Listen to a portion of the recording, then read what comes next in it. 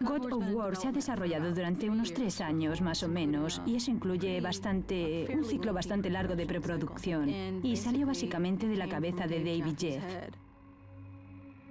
Había ya tantas mecánicas de juego preparadas, ya hechas en los mitos griegos, que era como la cabeza de Medusa, los rayos de Zeus y los cíclopes luchadores y todo mezclado con lo mucho que me gustaba a mí el material. Era como que había que hacerlo. Teníamos que hacer este juego. Dave Jaffe me viene y me dice, ¿qué te parece la mitología griega? E inmediatamente ya empezó a intrigarme. Cuando dijeron, bueno, estamos pensando en meter la mitología griega para World of War, yo dije, sí, tenemos que hacerlo. Al director creativo Dave Jaffe, desde luego le surgen todo este tipo de cosas y le gusta involucrar al equipo en el diseño. Así que él saca las ideas y nos sentamos y vienen y nos pregunta sus famosas 10 cosas sobre lo que pensamos sobre esta idea. God of War es un intento nuestro de elevar en serio el género de aventura y acción al siguiente nivel.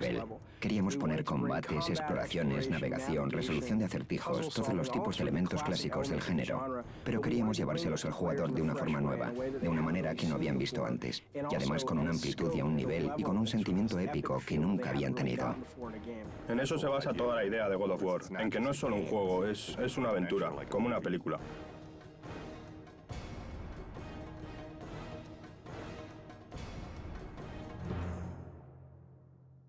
La cantidad total concebida de gráficos y trabajo que se usó para desarrollar todos los personajes y la sensación que te produce el juego son únicas.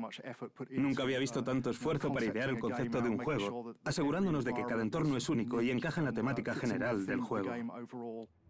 Yo les aporté mis influencias. Ellos tienen el mérito de haber sido capaces como de extrapolar lo que yo buscaba en gráficos. Gráficos alucinantes. Así que acabé más o menos consiguiendo lo que quería, que era este escenario de fantasía increíble con mucha aventura y que estaba inspirado en las cosas con las que yo crecí, las películas que veía. Pero para saber exactamente cómo el juego acabó teniendo la forma que tiene, tendrías que preguntar a los diseñadores de arte.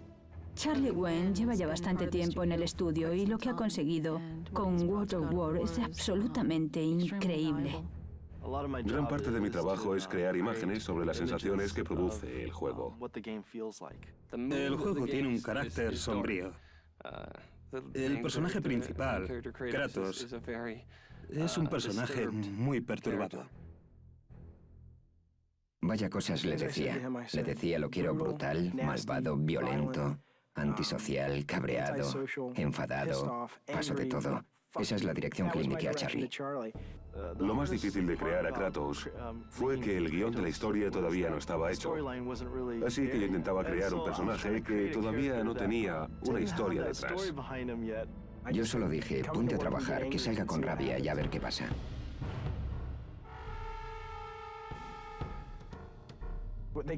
Lo que sacaron fue sus versiones de rabia y las cosas que les cabreaban. La verdad es que estaba guay, porque fíjate en los gráficos del concepto y mira cómo todos trataban la rabia la locura y el caos. La solución fue empezar a quitarle todo. Cada vez quitábamos un trozo de armadura, luego quitábamos un casco, un escudo.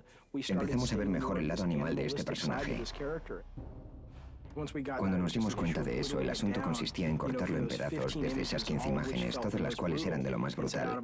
Y de esas 15, esta es la que nos quedamos.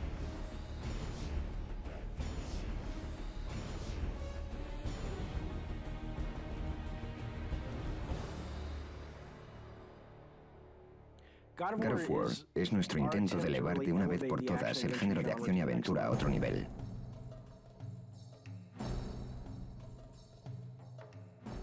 Estábamos intentando hacer tanto en ese momento, queríamos llevar esta experiencia a la gente y queríamos que fuera realista. Para hacer eso, teníamos que llevar la PlayStation 2 hasta el límite al que pudiera llegar. Usamos un programa de gráficos llamado Maya eh, para hacer casi todo en el juego. Cuando empezamos el juego al principio, el asunto era cómo crear entornos maravillosos y exuberantes que fueran muy poligonales, con las texturas muy detalladas, una iluminación maravillosa y consistente con el juego. En el apartado tecnológico, después de 4 o 5 años con una consola, la mayoría de los problemas gordos se han resuelto, así que solo es una cuestión de hacerlo mejor que los demás. Al principio empiezas con una hoja, que también se llama colisión. Eso es muy básico, el nivel mínimo de detalle con el que el jugador puede de hecho reaccionar. Cada una de estas paredes que el jugador no puede atravesar. Ahí es en realidad donde estás jugando, pero no es lo que ves. Esto es lo que lleva el juego al fondo. Si apago la hoja, ahora puedes ver cómo hay gráficos asociados con eso. Desde luego lo que queremos es que el jugador se sienta como en la Grecia antigua. Es pasar de un sentimiento oscuro de depresión, donde dices, ah, quiero salir de aquí, a algo muy brillante. Y estás en el desierto. Es que te sientas como que estás en un mundo amplio. Hay todo un mundo por explorar ahí fuera. God of War va a dar una sensación muy real, pero va a tener que ser así. Un poco de fantasía, todo al límite, lo más fuerte. Creo que no hay por ahí más juegos para PlayStation que consigan eso.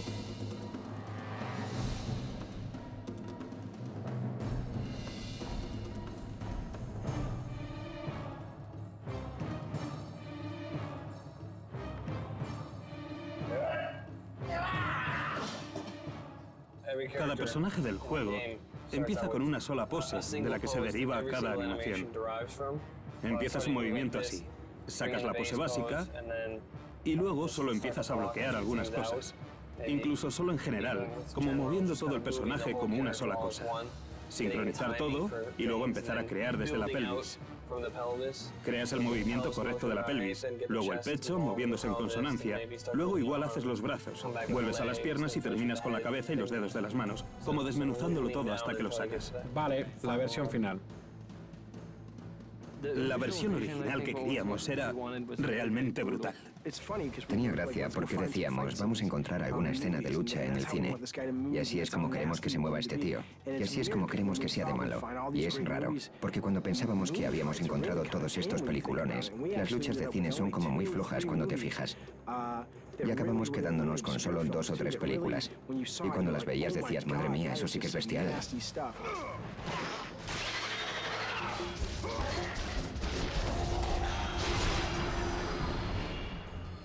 Hemos tenido bastantes sesiones o reuniones de diseño del juego con los animadores donde nos ponemos. Nos agitamos mucho. La configuración de mis situaciones al poner enemigos en el juego, intentando que sean muy jugables para poder ponerlos en los niveles y moverse por ahí, es como de dibujos animados. Un escenario muy brillante. Y es un gran espacio abierto y pongo a los tíos ahí. Y lucho ahí con ellos y los arreglo. Configuro todos sus movimientos y sus combos y sus reacciones. La animación de la cabeza de la medusa. Arrancarle la cabeza a la medusa. Mucho ciclo de desarrollo para eso. Tuvimos que rehacerlo varias veces. Nos obsesionamos con ello. Yo me obsesioné y cabreé a todo el mundo. Las animaciones no son suficientemente brutales, no hay suficiente sangre. Quiero que los jugadores se vuelvan locos con este juego, que sientan esa sensación de rabia y de caos.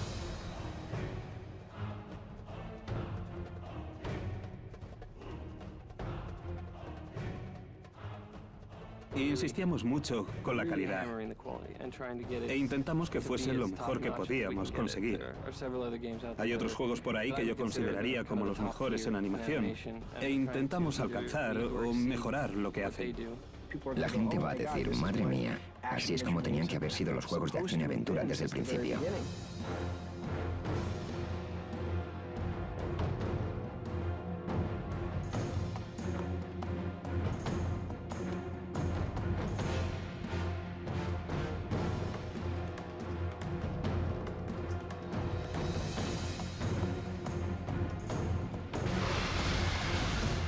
A mí me parece que este es el juego que quería hacer desde que era un chaval. God of War, desde una perspectiva de producción, ha sido todo un reto. Hemos tenido mucha presión en varios aspectos. Dinero, tiempo, recursos. Ha sido realmente una lucha hacer el juego. El equipo y yo volvimos locos a mucha gente. Llevaba una rabia dentro de mí que sentía que se la traspasaba a Kratos. Y ahora miro a Kratos y es como yo.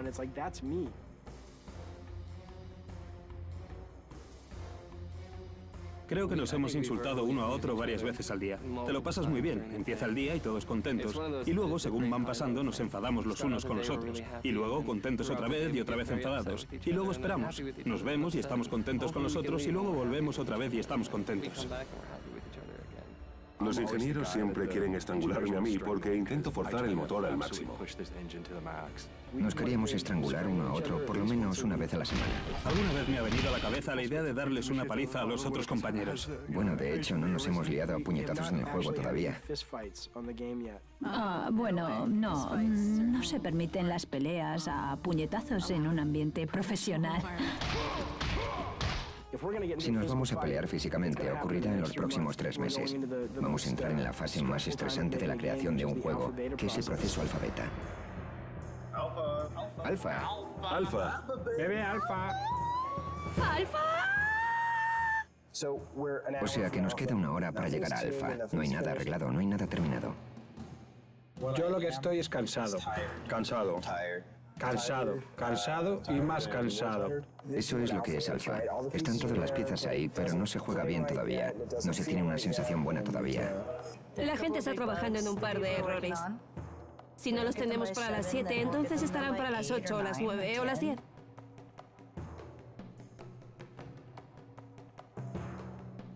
Tres años y ya casi lo tenemos. La luz al final del túnel. Estoy muy... Estoy tan contento. Nos queda una hora para decir que por lo menos ya tenemos un juego.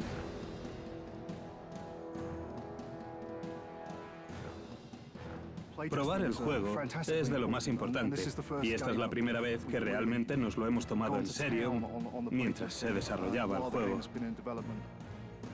Nos traeremos a cinco a seis personas de los colegios de por aquí y les sentaremos delante de la última versión del nivel que hayamos estado creando y les miraremos jugar. Y comprobaremos todo lo que no hacen bien o todas las veces que no encuentran la manera de solucionar un acertijo porque no es lo deducible que esperamos. O si no ven una puerta al fondo, añadiremos más luz para que se vea. La verdad es que es como hacer una película.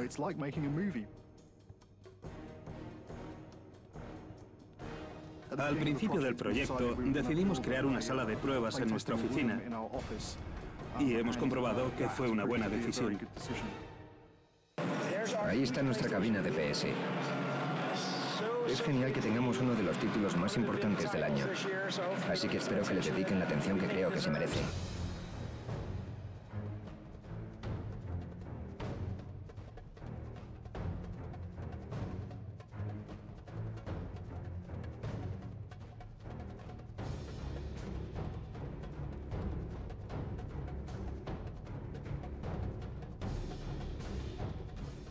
Creo que tanto si te gusta la mitología como si no, no puedes negar la fuerza que tiene un juego hecho por gente apasionada. God of War es un juego que al que todo el mundo puede jugar y pasárselo en grande. Tienes que jugar a God of War porque vas a alucinar. Esta es la aventura que siempre te ha prometido la parte de atrás de la caja. God of War es una jodida pasada.